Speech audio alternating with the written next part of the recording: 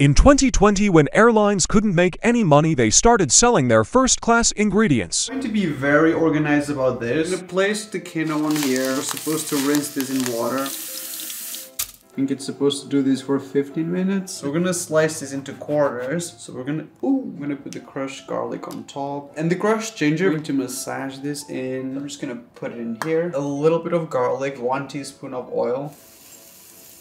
Got the roasted peppers, the asparagus, roasted aubergine, and also the lentils. Four tablespoons of the quinoa, third of the chickpeas, five tablespoons of the lentil, olive oil.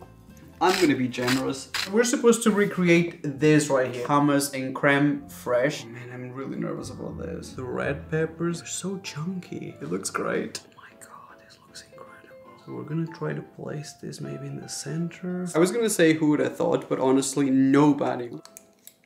Wow.